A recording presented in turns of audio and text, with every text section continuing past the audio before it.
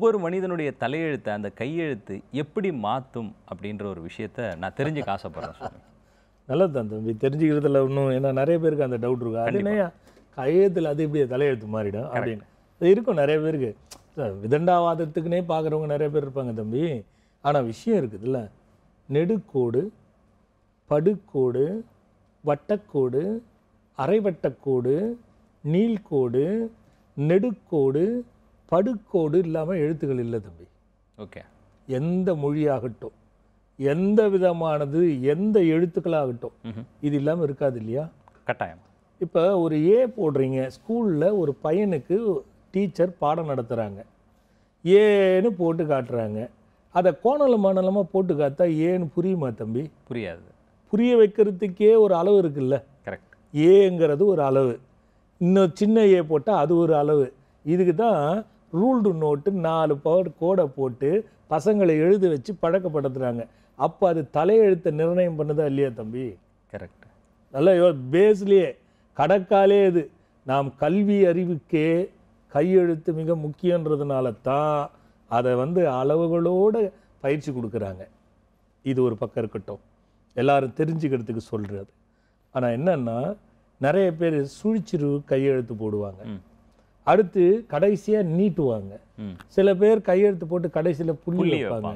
சில பேர் கையெழுத்து போட்டு கீழே கோடு இருப்பாங்க சில பேர் சுற்றி மேலே எடுத்துட்டு வந்து முடிப்பாங்க. இதெல்லாம் கையெழுத்தில் இருக்கு இல்லையா? இது ஒரு பக்கம் இருக்கட்டும். அவங்க யோசித்து பார்த்து அந்த கையெழுத்தில் பிரச்சனை ஏற்படுது. நிறைய பேர் செக்கு கொடுப்பாங்க. ரிட்டர்ன் ஆகும். இந்த ரிட்டர்ன் ஆகிற செக்குகள்லாம் கையெழுத்து சரியில்லை. மாற்றி பார்க்கலான்னு நினச்சாங்கன்னா செக்கு பாஸ் ஆகும். அதை நம்ம அனுபவ ரீதியாக கண்டுபிடிக்கணும். அவங்களுக்கு எப்படி கையெழுத்து சரியா இருக்கு?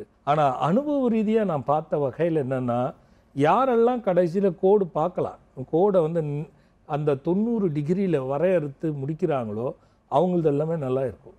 சில பேர் வந்து ஒரே ஒரு சுழி போட்டு நிறுத்துவாங்க அவங்களதெல்லாம் நல்லா இருக்கும். ஆனால் கடைசியில் புள்ளி வைக்கிறவங்களது சிக்கலாகும். இந்த மாதிரி நிறைய விஷயங்கள் இருக்குது தம்பி அது. பொதுவான கருத்து கையெழுத்து என்பது உங்களுக்கு பிரச்சனையாகவே வந்துக்கிட்டு இருக்கா? ஒரு டாக்குமெண்ட் போயிட்டு அட்வான்ஸ் கொடுப்பாரு. ரிஜிஸ்டர் பண்ணுவார் இடத்த. அது பிரச்சனை வில்லங்கத்தில் மாட்டிடும். அவர் அவர் அந்த மாதிரி வில்லங்கத்தில் மாற்றுறவர் கையெழுத்து பார்த்தோம்னா அவர் எது எதில் கையெழுத்து போட்டாரோ அதில் எல்லாத்துலேயுமே சிக்கல் இருக்கும். இதை அவங்க கவனித்து இருக்க மாட்டாங்க. அப்போ கவனிக்கும் போது இல்லை கரெக்ட் இல்லை. இவர் சொல்கிறது ஆமாம் நான் இந்த நான் எதில் போடுறோம் அது பிரச்சனை தான். அப்படின்னா கையெழுத்தை மாற்றி பாருங்க. இந்த மாதிரி பேர் கரெக்டாக வச்சுக்கிறீங்களான்னு பார்த்துக்கோங்க. அப்படின்னா சரியாக போயிடும். அதனால் கோடுகள் இல்லாமல் சொற்கள் இல்லை. சொற்கள் இல்லாமல் வார்த்தைகள் இல்லை. வார்த்தைகள் இல்லாமல் எழுத்துகள் இல்லை. எழுத்துகள் இல்லாமல் பதங்கள் இல்லை. பதங்கள் இல்லாமல் எதுவுமே இல்லை. அப்படிங்கிறது தான் தம்பி. வாழ்க்கை இல்லை. புத்த பிரானோட சீடன் ஒருத்தர் இருக்காங்க. அவங்க போய் ஒருத்தங்கிட்ட உபதேசம் பண்ணிட்டு இருக்காங்க. அவன் கண்ணாமண்ணான்னு திட்டுறான். பிடிச்சி. கண்ணாமண்ணான்னு திட்டிட்டான். திட்டிட்டு ஒரு அறையும் விட்டுறான். நல்லதை தானே போய் சொன்னோம் அவனுக்கு. அவன் ஏன்டா போட்டு அடித்தான்ட்டு அவன்ட்டு கன்னத்தை பிடிச்சிட்டு புத்தர்கிட்ட வந்தாங்க. சாமி நீங்கள் சொன்னீங்கன்னா அவனு போய் நல்லதை சொன்னேன் என்னை அடிச்சிட்டான் சாமி. அப்படியாடா அவன் எங்கடா இருக்கான்? கூட்டு வாங்கடா அவனுன்னார் அவங்க கூப்பிட்டு வந்தாங்க. சாப்பிட்டேடான்னு கேட்டார்.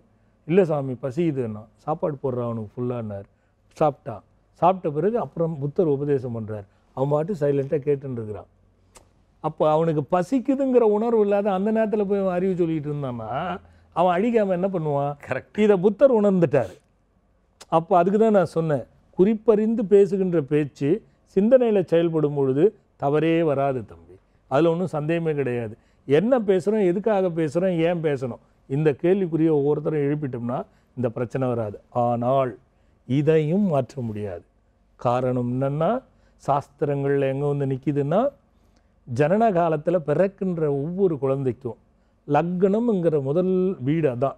லான்னு போட்டிருக்கிறது தான் முதல் வீடு. அதிலிருந்து மேலே இருக்கிறது இரண்டாவது வீடுன்னு பேர். அந்த வீட்டில் சனியோ ராகுவோ செவ்வாயோ பாப கிரகங்கள் இருந்துச்சுன்னா அவன் கண்டிப்பாக அவன் வாயால் தான் அவனுக்கு பிரச்சனை வரும். அதில் ஒன்றும் மாற்று கருத்தே கிடையாது. அவர் என்ன பேசினாலும். என்ன பேசினாலும் பிரச்சனை தான் வரும். ஓகே.